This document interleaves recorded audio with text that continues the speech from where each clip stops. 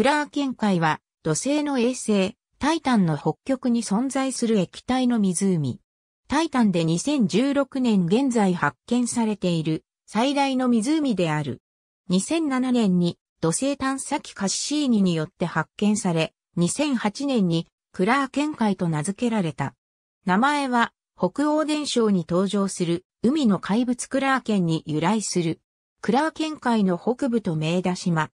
クラーケン海は全長約 1170km、面積約40万キロ平方メートルの広大な液体の湖で、タイタンの北極地域では最大の湖だと考えられている。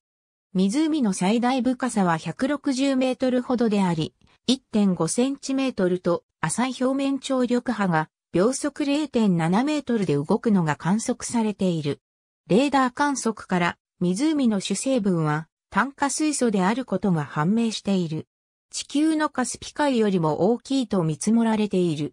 クラーケン海の北端には湖で最大の島であるメーダ島が位置する。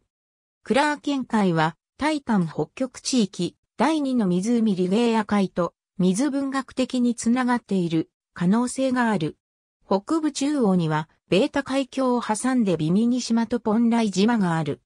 クラーケン海の北緯67度西経317度の地点には幅約 17km と地球のジブラルタル海峡に近いサイズの細い海峡がある。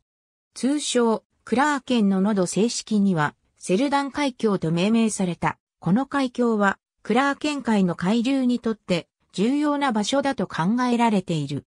タイタンの軌道離心率はクラーケン海に1メートルほどの潮汐を引き起こしている可能性があり、生み出された流れはこの水域で秒速0.5メートルに達し、渦を巻いているかもしれない。